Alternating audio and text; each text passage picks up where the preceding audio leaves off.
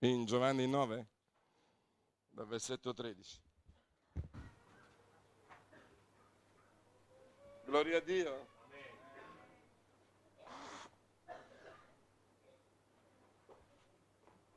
Noi non sappiamo come Lui opera, come il Signore, come Gesù opera, ma sappiamo che opererà. Questo ci interessa sapere. Infatti vi, questa predicazione un po' parlerà di questo aspetto. Le persone sono curiose, vogliono sapere come, come, come. Invece dobbiamo guardare il risultato di quello che Dio fa. Come non ci interessa. Giusto? Come fa, fa. L'importante è che lo fa. Voi vi immaginavate che apriva il Mar Rosso? No, Mosè non poteva mai immaginare, ma magari pensava una zattera, magari pensava che, che, fermava col fuoco gli egiziani, ma non poteva mai pensare che il Mar Rosso si aprisse davanti a lui. Dio fa le cose che noi non pensiamo, amen. Allora, nel Vangelo di San Giovanni, capitolo 9, versetto 13. Allora essi condussero dai farisei colui che prima era stato cieco. Ora era sabato quando Gesù fece del fango e gli aperse gli occhi. Anche i farisei dunque gli domandarono di nuovo come avesse recuperato la vista. Ed egli disse loro, mi ha messo del fango sugli occhi, mi sono lavato e ci vedo. Allora alcuni farisei dicevano, quest'uomo non è da Dio perché non osserva il sabato. Altri dicevano, come può un uomo peccatore compiere tali segni? E c'era divisione tra di loro. Chiesero dunque di nuovo al cieco, e tu che dici di lui per il fatto che ti ha aperto gli occhi? Egli disse, è un profeta. Ma i giudei non credettero che lui fosse stato cieco e avesse riacquistato la vista finché ebbero chiamato i genitori di colui che aveva riacquistato la vista. E chiesero loro, è questo il vostro figlio che voi dite essere nato cieco? Come mai ora ci vede? I suoi genitori risposero loro e dissero, noi sappiamo che costui è nostro figlio e che è nato cieco, ma come ora ci veda o chi gli abbia aperto gli occhi, noi non lo sappiamo.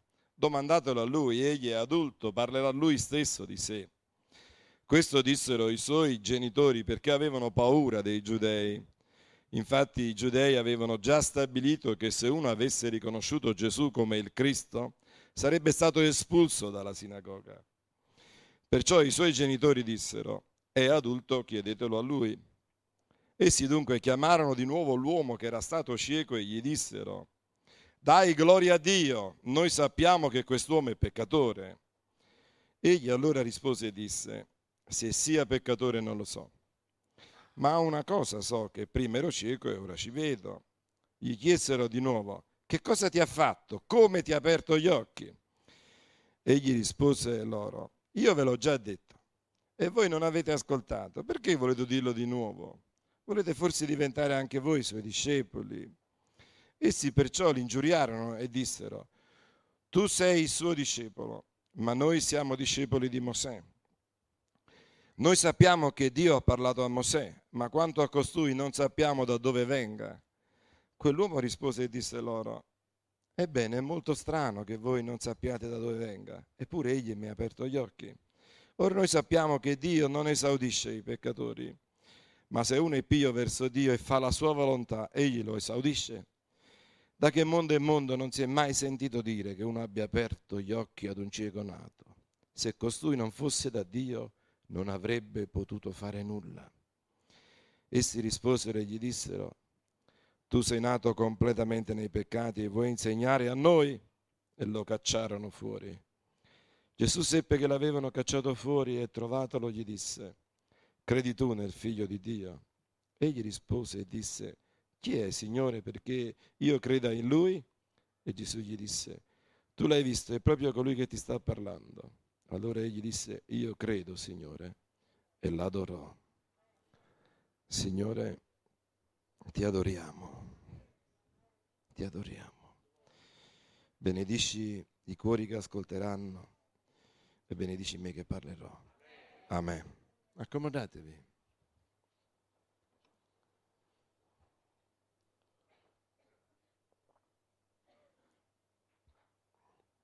ci troviamo davanti a un'operazione di Gesù spontanea.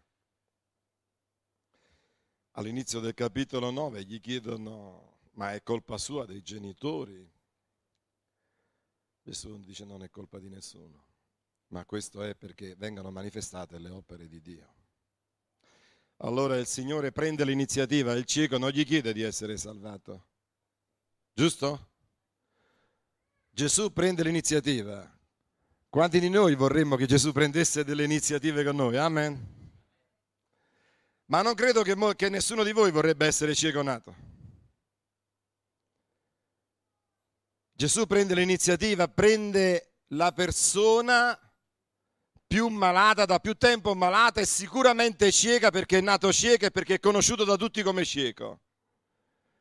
Poteva prendere qualcuno che era diventato zoppo qualcuno che avesse una eh, disabilità inferiore o un'infermità minore.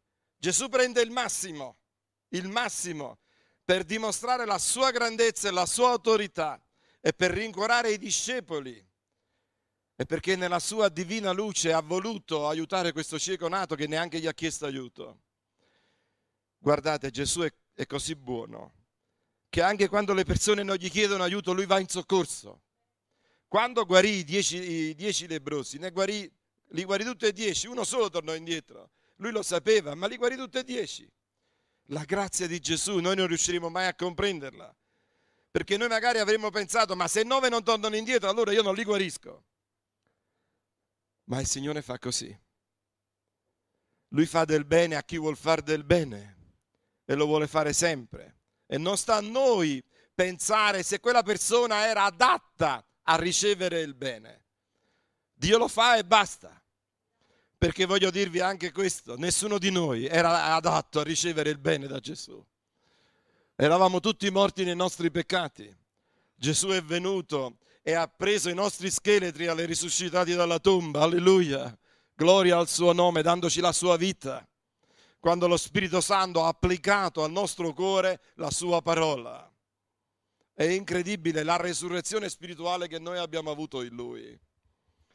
Ora, il cieco non ha visto Gesù, non ha visto i miracoli, non lo conosce e forse non si interessava neanche perché era talmente carico dei suoi problemi che non, non poteva interessarsi di altro. Quando una persona vive il suo, il suo problema, quelli degli altri, anche se lo sensibilizzano, ma è troppo preso dalla sua cecità, dalle sue preoccupazioni, di tirare avanti giorno per giorno. Non c'era pensione, non c'era sostegno, non c'erano case di accoglienza. Quindi quest'uomo doveva ogni giorno cercare di reperire l'ordinario, il cibo, le poche cose, qualcuno che l'accompagnasse magari in bagno a fare la spesa. Questo cieco viene chiamato Gesù, sente la voce del Signore e attraverso il fango può percepire il tatto. Ha visto ben poco. Eppure quest'ex disabile, quest'ex cieco, in una concitazione, in, una, in uno scontro con i potenti dell'epoca, non abbassa il capo e in, una, in un crescendo di fede riceve rivelazione sempre maggiore di quell'uomo. Lo conosce come uomo, quell'uomo. È un uomo, va bene? Non ha nessun tipo di rivelazione, ma comincia piano piano, passa da una cecità interiore a luce interiore. Il recupero della vista gli dà anche il recupero della vista del cuore e comincia a vedere piano piano, perché noi non possiamo vedere all'improvviso la grandezza di Gesù. Cominciamo a inquadrarlo. Vi ricordate Gesù quando chiese ai discepoli, chi dice, il, chi dice gli altri, il popolo che, che io sia? E cominciano a dire Geremia, i profeti, tutti quanti. Cioè, quando noi parliamo con qualcuno che non conosce la grandezza di Gesù, ci dirà che Gesù è stato un grande, ma non dirà mai che Gesù è il figlio di Dio, il Messia se non lo riceve per rivelazione, come lo ricevette Pietro e come l'abbiamo ricevuto ognuno di noi. Noi prima crediamo e poi lo Spirito Santo ce lo conferma. Allora, questo cieco comincia a disarmare i religiosi. Ma come ti ha guarito? Cioè, fratelli e sorelle, È come se noi davanti al miracolo che abbiamo appena sentito cominceremo a chiedere ma come? Ma come è successo? Ma, com- ma cosa è successo? Invece di, invece di guardare il lato finale, ossia invece di esultare che il cieco vedeva, che un cieco nato era stato guarito, che un, che un, che un uomo nella schiavitù totale veniva liberato, andiamo a vedere come e chi l'ha fatto. Fratelli, questo si tratta una cosa che i veri ciechi erano quelli che vedevano, non era il vero cieco, non vedevano niente, avevano gli occhi chiusi. Come? Come mi ha liberato? Come ha guarito? E lui li disarma perché cosa fa? Racconta con estrema semplicità quello che si è fatto in due frasi. Lui mi ha chiamato, mi ha messo sul fango degli occhi. Magari non ha manco sentito che Gesù ha sputato nel fango. E mi ha guarito. Fratelli, i miracoli del Signore sono di una straordinaria semplicità. Ma com'è che Gesù fermò la tempesta? Mica chiamò gli angeli con la sua voce, con la parola, con la sua voce. Senza sonar e senza radar è stato quello che ha pescato di più. Chi la, nella descrizione, nelle azioni di Gesù, non c'è niente di pomposo, non c'è niente di alterato, non c'è niente di vanità, né nell'opera che fa, né nella persona che lo fa. Rimane semplice, disarmante, perché tutta la gloria deve andare a Dio. È chiaro, non ci sono tanti uh, pensieri o storie da raccontare. Il principio è uno quando noi raccontiamo la salvezza. Gesù è morto per te. Noi a volte vogliamo convincere le persone raccontando tutta una serie di storie.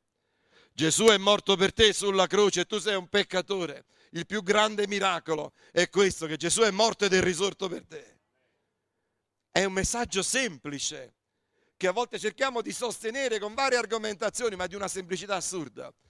Io sono morto nei peccati, Gesù è morto per me ha preso il mio peccato sulla croce, io sono risuscitato con lui.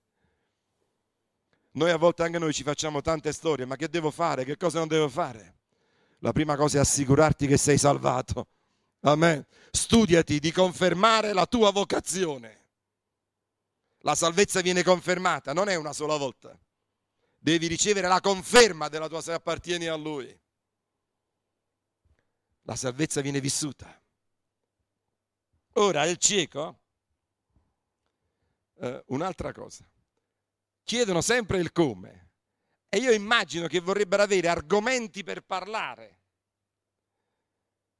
E nella sua semplicità, nella sua parola, mi sono anche ricordato. Vi ricordate al generale Siro cosa disse il profeta Eliseo?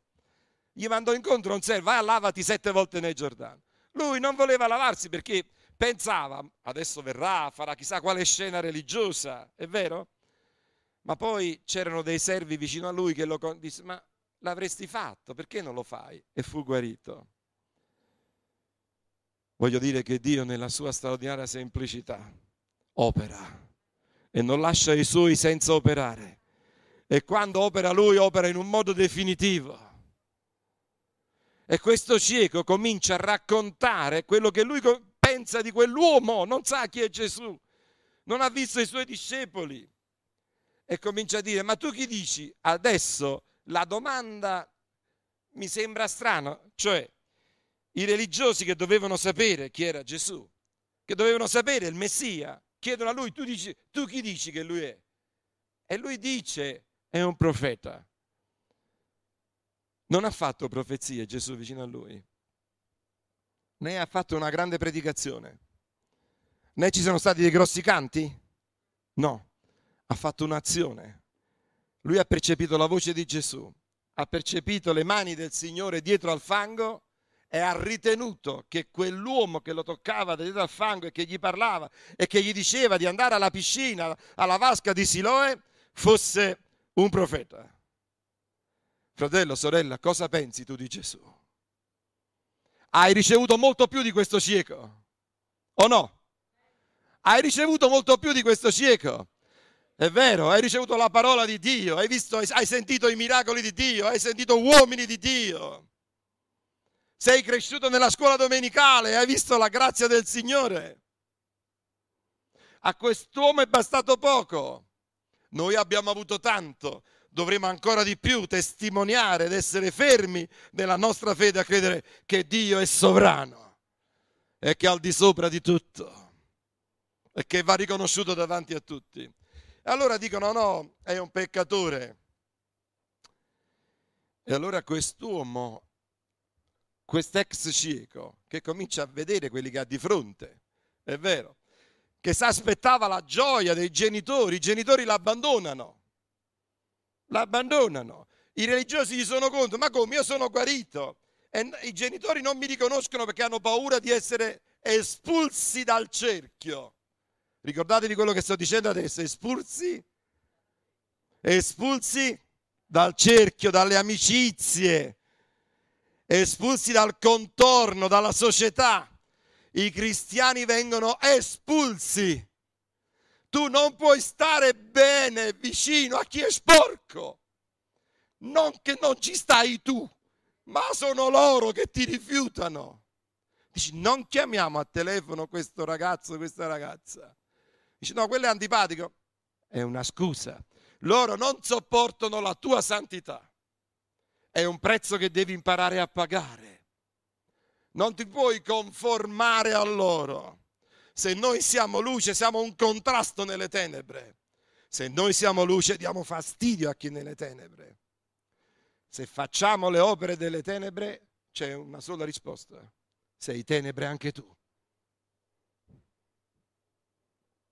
Allora, fratelli e sorelle, furono i genitori avevano paura e non lo riconobbero. I, I religiosi facevano le domande. Il cieco, l'ex cieco, dice io non lo so, però so che Dio non esaudisce i peccatori. E lui non avrebbe potuto fare niente se Dio non era con lui. Lui riconosce davanti a tutti, rischia ed è disposto a pagare il prezzo di uscire fuori dalla sinagoga, di uscire fuori dal contesto, dal centro, di lasciare i suoi amici, di lasciare i suoi genitori per onorare un uomo che non conosce ancora. Capite? Fratelli e sorelle, il prezzo. Il prezzo di ricevere lo scherno, l'offesa, di, sta- di non potersi ribellare perché stava davanti a un ordine costituito. È disposto a tutto. E riconosce una cosa, dobbiamo sottolinearla. L'ho detto già altre volte. Ma se noi pecchiamo, Dio non ci risponderà. Giusto? Lo dice la parola, non lo dico io. Se noi dopo aver conosciuto il Signore possiamo sbagliare, sì. Possiamo commettere errori, l'ho detto già altre volte. Ma se rimaniamo nel peccato, Dio non risponderà alle nostre preghiere. Beh, afferra questo concetto. Perché il diavolo ti dirà sempre il contrario, ti dirà ma Dio è buono, Dio è misericordioso. Sì, è vero. Ma Dio è santo, Dio è giusto, Dio è l'onnipotente e Cristo dentro di te non accetta lenzuole sporche. Ricordalo, afferralo questo concetto. Allora, andiamo avanti. Ora, quest'uomo viene cacciato fuori. Viene, è come se tu, giovane, per testimoniare della tua fede, vieni cacciato fuori dai tuoi amici. È come se tu sorella, fratello, vieni, messo, vieni emarginato per la tua fede, per la tua fede, perché stai raccontando agli altri che Gesù è buono, che sei diversa, che sei diverso. Ti allontanano perché non sopportano che sei una persona giusta, onesta, casta, pulita, che non ridi alle barzellette sconce e neanche le accetti, che non vuoi sentire le bestemmie. Allora in un certo modo stai fuori, ossia non ti possono accerchiare nel loro modo di vivere, ti tengono fuori. E devi ringraziare Dio se ti tengono fuori, perché vuol dire che veramente stai nella grazia del Signore. E ricordati una cosa, quando stai fuori succede un altro miracolo. Chi è che era stato cacciato fuori? Il cieco? A chi va a prendere Gesù? Allora Gesù è il grande cacciato. Lui è stato cacciato fuori dal suo popolo e va a raccogliere tutti quelli che sono stati cacciati. Gli altri ti cacciano, Gesù ti raccoglie. E lo stare con Gesù per il cieco vale più che stare con i suoi genitori, che stare nella sinagoga, che stare nell'ambiente sociale con i suoi amici. Perché lo stare con Gesù riempie e soddisfa la tua vita più di ogni altra situazione, di ogni altra circostanza. È Gesù che riempie la nostra vita. Tutto. È Lui. È Lui. Non è mia moglie, non sono i miei figli. Essi fanno parte della mia vita ma è Gesù che li riempie, perché senza Gesù anche loro uscirebbero. Lo afferrate questo concetto. Se non mettiamo al primo posto, se non metti al primo posto Gesù Cristo, perderai anche gli affetti più cari, perché Gesù è l'unico che ti fa apprezzare quelli attorno a te. Allora, il grande cacciato va a raccogliere l'ex cieco e dice credi tu nel Signore c'è colui che ha difeso Gesù, colui che ha detto che è un profeta, sale in pochi, poche ore, non lo so quante sono, sette, otto ore, cinque ore, Gesù si presenta a lui in poco tempo, arriva da lui e dice, credi, eh, credi vi rileggo, credi tu nel figlio di Dio.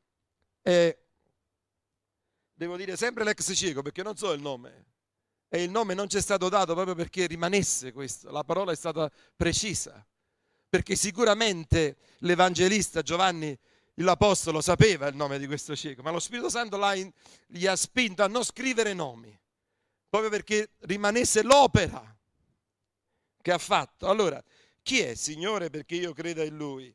Quest'uomo è disponibile, ha ricevuto una grazia, è stato cacciato fuori, ma non è irritato, non ha rabbia, è stato cacciato fuori, ma il bene che ha dentro e quello che ha ricevuto è più grande, non è stizzato. Gli va uno vicino e dice chi è Signore? È disponibile. Chi ha ricevuto una grazia nel cuore è stato liberato dalla rabbia, dalla stizza. Comincia... Cioè, se tu hai ricevuto Gesù, come fai a stare stizzato? Come fai a svegliarti storto? Comprendete, fratelli e sorelle? Allora, allora tu la, e Gesù gli disse, tu l'hai visto, è proprio colui che ti sta parlando. Cioè, la voce che gli ha detto vatti a lavare, la sente un'altra volta. Ora lui è cieco, ma non è sordo. E voi sapete, fratelli, che le persone, le persone cieche sviluppano un udito, una sensibilità maggiore al tatto, all'udito. È vero?